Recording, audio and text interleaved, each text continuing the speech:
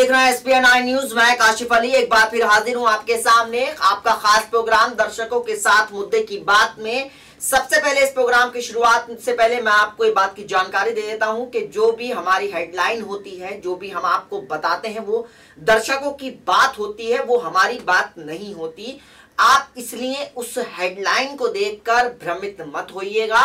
ये हम आपको पूरी तौर पर, साफ़ तौर पर बता रहे हैं। क्योंकि ज़ाहिर सी बात है कि अमूमन लोग क्या करते हैं कि लोग भ्रमित करके आ, लोगों को भ्रमित करने का काम करते हैं लेकिन S P N I news कभी भी अपने व्यूवर्स को, अपने दर्शकों को भ्रम में डालने का काम नहीं करता। यही वजह है कि आज हम देश के वेब चैनल की दुनिया में नंबर वन बनाए हुए हैं, पकड़ बनाए हुए हैं और ये आपका प्यार है और ऐसे ही अपना प्यार बनाए रखिएगा हम बात करेंगे आज फिर राजस्थान के उप मुख्यमंत्री सचिन पायलट की। सचिन पायलट को लेकर हमने एक प्रोग्राम किया था कि एक दर्शक ने उसमें कहा था कि काश सचिन पायलट बीजेपी में होते। तो उसको लेकर फिर हमारे कमेंट में प्रोग्राम में लोगों की अलग अलग तरीके की राय आई है। उस पर लोगों ने क्या जवाब दिया है, वो मैं आपको इस प्रोग्राम के ज़रिए बताने की कोशिश कर रहा हूँ। देखिए, लगातार ये बात तो हम और आप जानते हैं कि सचिन पायलट एक दमखम रखने वाले नेता हैं, एक बेहतरीन व्यक्तित्व के नेता है, एक बेहतरीन शैली के नेता हैं। उनका व्यक्तित्व, उनकी जो अंदाज है, जो उनका राजनीति करने का तरीका है, वो औरों से जुदा है। वो औरों से अलग है और यही वजह है कि आज सचिन पायलट सचिन पायलट बन चुके हैं।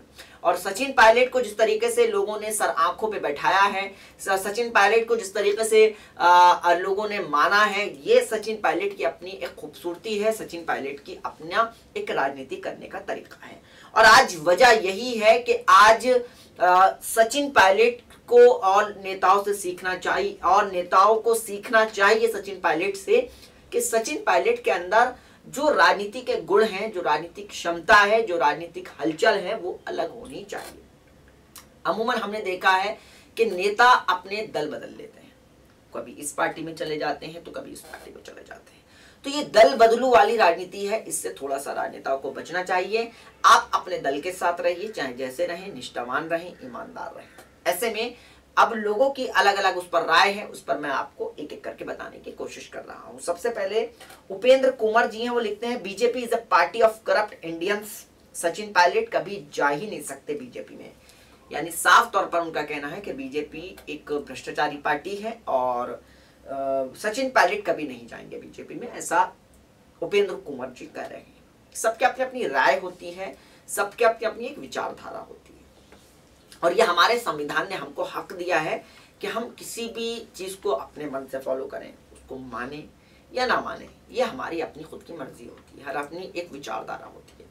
ऐसे में उपेंद्र कुमार जी के अपना मत है, उनका कहना है कि सचिन पायलट बीजेपी की जो अपनी नीतियाँ हैं, गलत नीतियाँ हैं, उसकी वजह से वो कभी भी बीजेपी में नहीं जा सकते।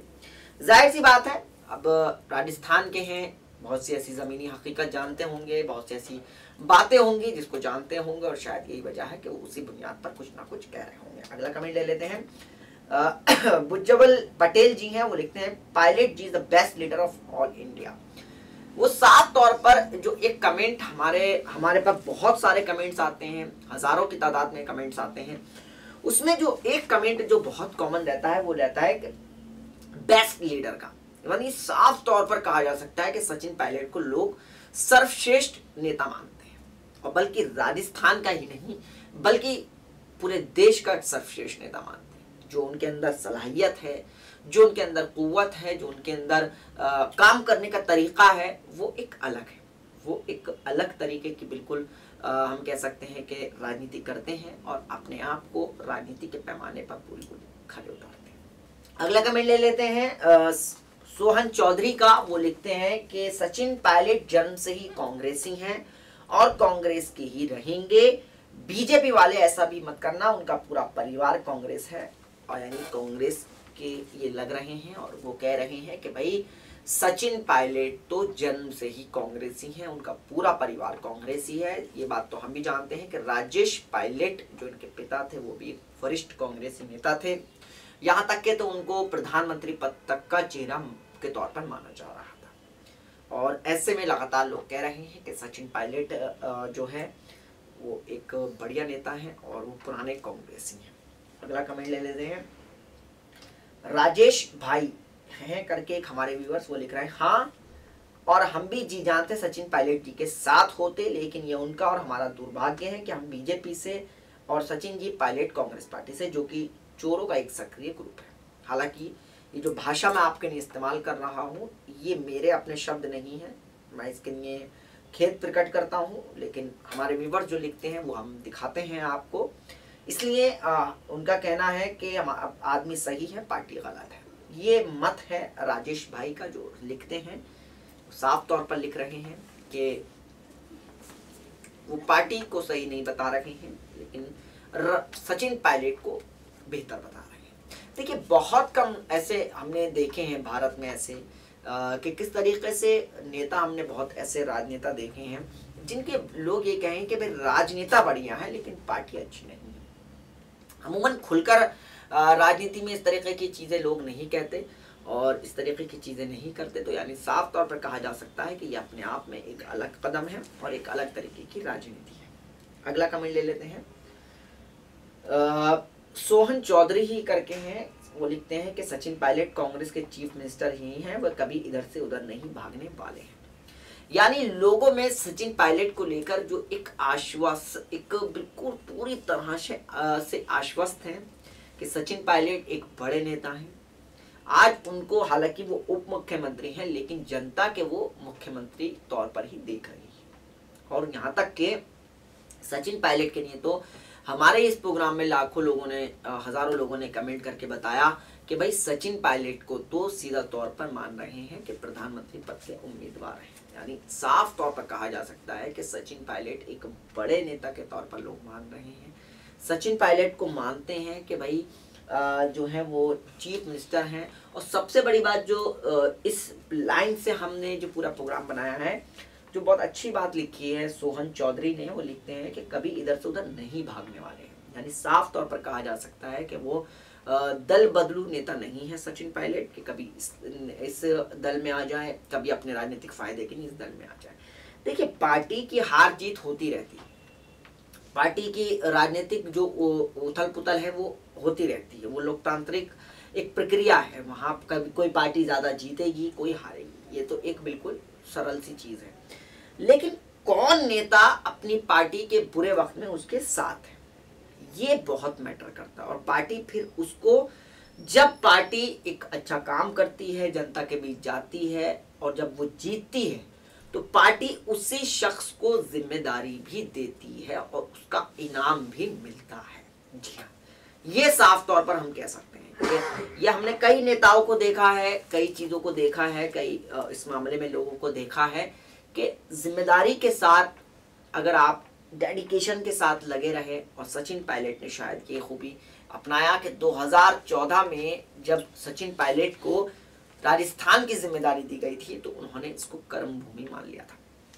और पूरी तरह से इस पर आ, अपना मान लिया था कि भाई सचिन पायलट एक बड़े नेता हैं और सचिन पायलट ने जिस तरीके से वहाँ रहकर काम किया और कांग्रेस को जो है वो पूरी तरह से निभाया और कांग्रेस के लिए पूरा काम किया, वो बता रहा था कि सचिन पायलट एक अलग तरीके के नेता है। अगले कमेंट ले लेते हैं। जिस तरीके से लगातार सचिन पायलट के लिए लोग लिख रहे हैं, वो साफ़ तौर पर कहा जा सकता है कि सचिन पायलट एक अलग तरीके के नेता है। राजनीति और राजनेता का जो सफ़र है, उनका एक अलग तरीके का है और शायद आज जनता इस बात को कह रही है कि और नेताओं को भी सचिन पायलट से सीखना चाहिए। और क्योंकि सचिन पायलट के अंदर जो उनकी एक अलग तरीके की कार्यशैली है, जो उनके तरीके का एक अंदाज है, जो एक अलग तरीके की उनके अंदर खूबी, वो बताती है कि सचिन पायलट एक बड़े, एक सरल और एक बेहतरीन स्वभाव वाले नेता हैं। शायद यही वजह है कि आज सचिन पायलट के अंदर की जो आ, हम कह सकते हैं कि एक अलग तरीके की जिज्ञासा है जो उनके अंदर राजनीति करने का हुनर है वो बिल्कुल अलग तरीके का है। और यही वजह है कि आज सचिन पायलट सचिन पायलट बने हुए हैं। बहरहाल सचिन पायलट की ये खूबियाँ सचिन पायलट की ये बातें बताती हैं कि सचिन पायलट आने वाले वक्त में देश के एक बड़े राजनेता के तौर पर जाने जाएँगे। पुराने कांग्रेसी रहे हैं बीजेपी में तो जाने का कोई सवाल ही नहीं बनता, ऐसा जनता कह रही है। और शायद यही वजह है कि आज सचिन पायलट को लोग मानते हैं और उनको मानते हैं कि भाई उनका बीजेपी में नहीं, बल्कि कांग्रेस में ही ज़्यादा बेहतर भविष्य है। बहरहाल किस राजनेता का भविष्य किसमें ज़्यादा है, किसमें नहीं, ये तो आने वाला वक्त ही बताएगा। और देखना ये भी होगा कि क्या सचिन पायलट राजस्थान की जो राजनीति कर रहे हैं, जो राजस्थान की जो राजनीति में अपना दमखम दिखा रहे हैं तो क्या वो आने वाले वक्त में मज़बूत होंगे और क्या उनको कांग्रेस बड़ा पद देगी? ये तो आने वाला वक्त ही बताएगा। और बहरहाल, अब आज के इस प्रोग्राम में इतना ही, और हम फिर हाजिर होंगे नई खबर के साथ, और तब तक नए मुद्दे के साथ। तब तक आप हमारे साथ जुड़े रहें, और देखते रहें एस पे न्यूज़ और साथ ही साथ कोई भी आप हमारे कमेंट में ज़रूर हमारे कमेंट में ज़रूर कमेंट करें ताकि हम आपके कमेंट्स को, अपनी वैल्यूबल राइज को आप हमारे सामने ज़रूर रखिएगा ताकि हम आपकी हर एक खबर आप तक पहुँचाने की कोशिश करें। नमस्कार।